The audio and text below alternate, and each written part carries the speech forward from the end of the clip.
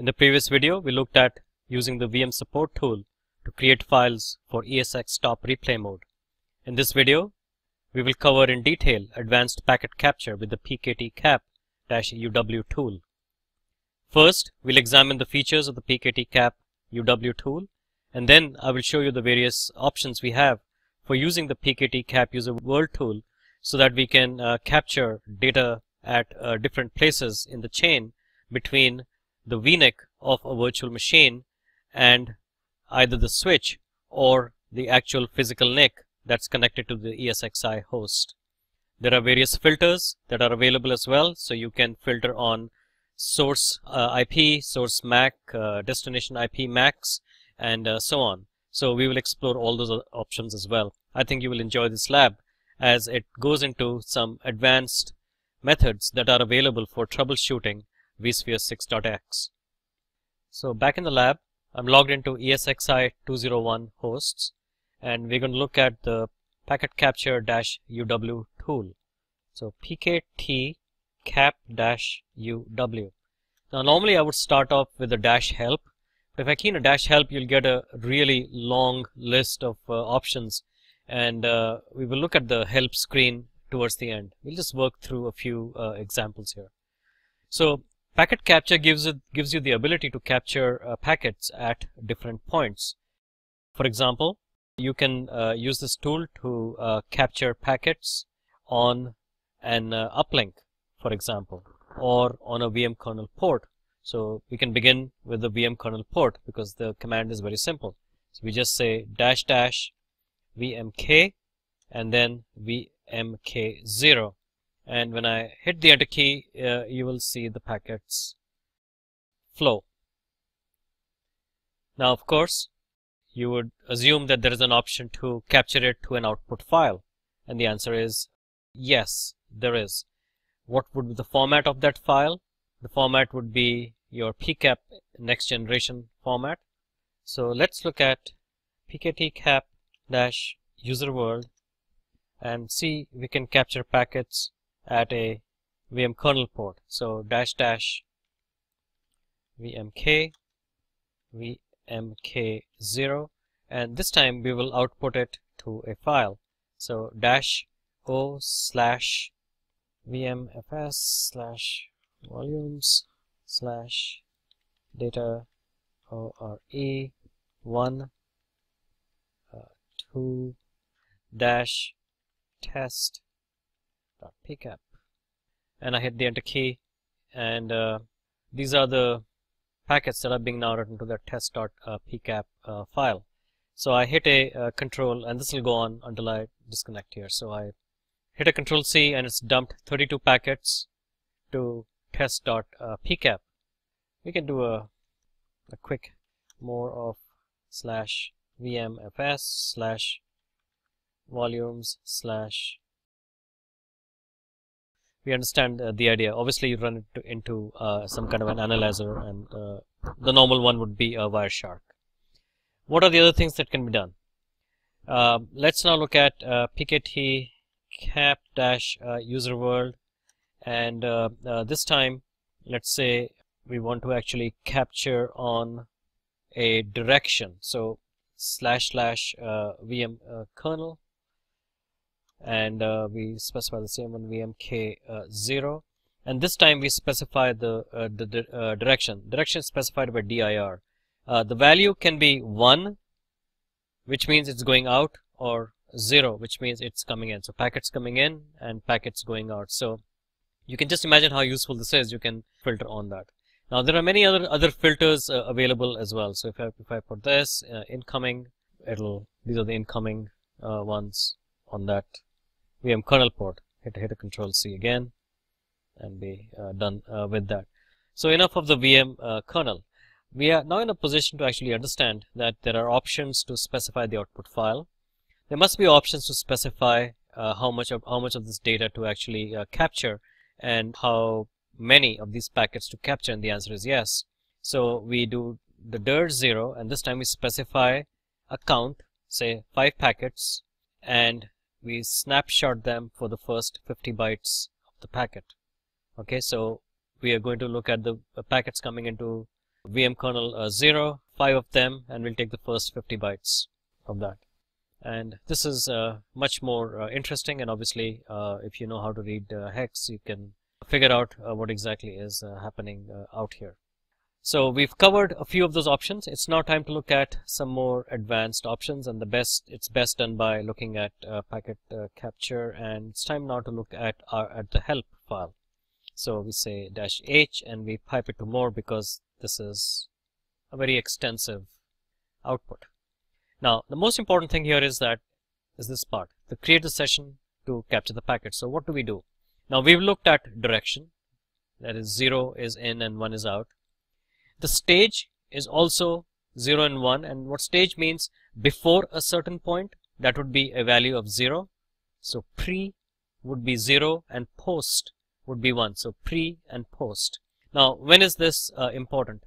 Well it's uh, important uh, because uh, you have in, in many cases uh, you want to check for example at a, a switch port. If you want to check at a switch port because you can specify the switch port and a port ID. So using either ESX uh, CLI network commands uh, or different ways, you know, through the vSphere web client. You can look at that as well. So for a switch, you can define, you can find out what the port IDs are. When you when you define a switch port, you can also define whether it's going to it's in the incoming direction or the outgoing direction by dash dash dir but you can also specify whether it is before or or or after it is used a lot with these DV filters, which are basically uh, places where one can put software filters into the I/O chain. The the LIF ID, okay, this is uh, for uh, NSX uh, essentially. Uh, this is the uh, logical interface, and that's the distributed router. If there are modules implemented in that chain, the module and the function can be specified. Of course, you can specify the the ports. We've looked at counts and the snap lengths we looked at uh, out files, right? Trace is hardly ever used except probably by VMware support. Uh, let's look at uh, some of the other options. I'm going to leave this capture point to last because this is where the real power of this tool is. So let's look at some of this. So if you select a switch port, so for example, if you select port uplink and ether switch related capture points, then you can specify the switch port ID, as I said, uh, the logical interface ID, of the you know virtual distributed router uh, and and the uplinks. There are flow filter options available as well, so you don't have to capture each and every packet. You can specify based on matching source MAC, matching destination MAC address, or any MAC address, whether it is source or destination. You can specify the various types, ether types.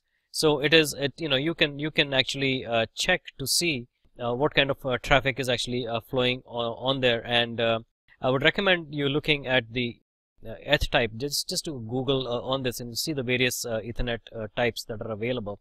And of course you know on on VLAN IDs but not only on VLAN IDs, it's also on VXLAN. So this is uh, really useful in an NSX uh, environment, for example, or if you have VXLANs implemented using uh, vShield or, or you know vCloud Director and so on.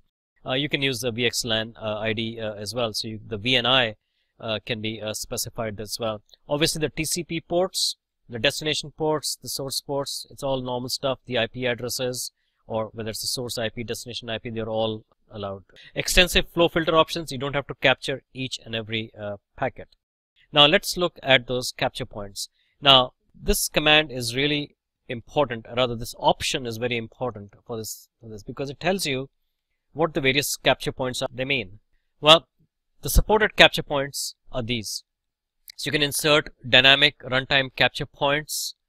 Uh, again, I would leave it up to people that do internal uh, activities to, to actually do this. Uh, these two are interesting, uplink receive and uplink send.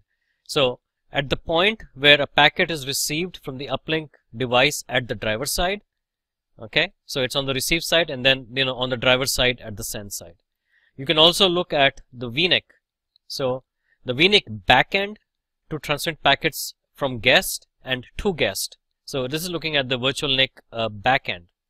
Now here we have ether switch dispatch. So this is inside the switch the function that receives packets for the switch and uh, from the switch. There are pre DV filters and post DV filters these are basically software filters that can be inserted in an IO chain. here is the TCP IP receive function and the transmit function. And then of course you know inside the kernel as well. This is for the uh, virtual distributed router the VDR uh, and this is also for the virtual distributed router for um, NSX so you can see there is an extensive array of capture points that can be specified by using the dash dash capture option that's uh, uh, available. Now one other aspect of uh, packet capture is to be looked at and that is pkt cap dash uw and we will do a dash h and pipe it uh, to more. Now apart from the flow filter options that we've seen before the really important ones are the count because you usually need to specify a count and uh, it's best if you're writing to an output file to capture the entire packet including uh, the actual uh, payload uh, there, there as well. DV filters uh, can be uh, obtained by the command summarize dash DV filter. And this is where you have the capture point dash dash capture capture point right? And which which we and the list of capture points is obtained by the dash capital A uh, option. Now the stage is important because it is before and after a certain capture point so you can capture the packet before it may be manipulated by that capture point. It's really important, for example, using uh, DV filters uh, are, are, actually uh, used uh, for uh, different purposes. So if you have an uh, intrusion detection system, for example, an IDS or some kind of a software firewall, especially, for example, in NSX, you can have the distributed firewall that's implemented in that IO chain. And then you can uh, check to see uh, before and after uh, whether the packet actually uh, passes through or not. So you can check uh, to see whether that uh, firewall is, is working. Of course there are other ways to check it as well but that was simply an example. If there are other third-party products implemented in also in there that are checking for different uh, forms of malware for example. Uh, you can actually uh, then again see what the packet looks like coming in and what the packet looks like going out if it's been massaged by something in uh, in uh, between. There's a use for it which I really need to check out but I assume that it would actually work is when a packet goes into a virtual uh, switch if we have set up the class of service setting and the differentiated code point uh, setting which we have covered in uh, previous uh, videos. It'll be uh, interesting to actually see the packet before it hits the switch port and before those uh, COS settings and the DSCP settings are put in place and then after the switch port and as it goes out the physical NIC uh, to see whether those settings have actually been put in by by the switch. I'm pretty sure that that should work but to me that would be a good use case for example of this uh, stage before and after.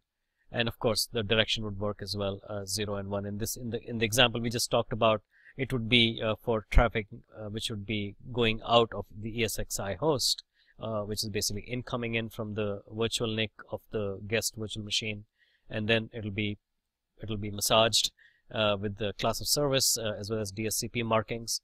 And then it will be sent out to the physical switch so a very, very uh, powerful uh, utility that's uh, not very well known. I would highly recommend that you look at the VMware documentation for it. It will really come in handy, handy for your uh, troubleshooting uh, purposes. In this video, we covered using the PKT cap-UW tool for troubleshooting. In the next video, we will look in detail at managing Simple Network Management Protocol SNMP support in vSphere 6.x. I look forward to seeing you there.